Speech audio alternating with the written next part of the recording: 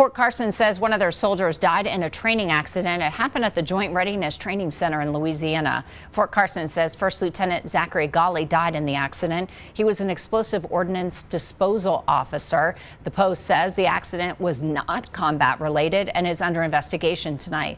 Lieutenant Galli was only 23 years old. He was from Williamsburg, Virginia.